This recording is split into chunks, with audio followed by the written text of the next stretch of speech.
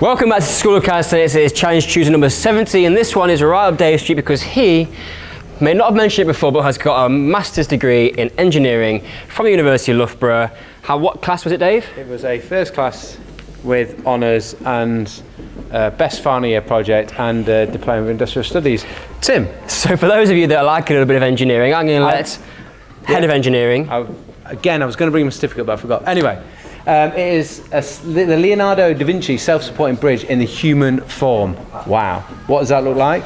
That looks like you and a pro bro tag them in it to, ch- to do this challenge with. So you need someone, but you need someone that you trust, and you need someone that is strong.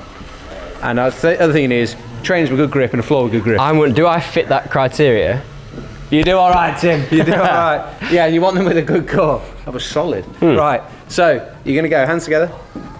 You start standing. Friendly. Your grades are going to improve as you go down. So you try and lower yourself down, pushing in. If you create equal pushing in, It gets scary about now. and you just shuffle your toes. Bit lower. Bridge broke.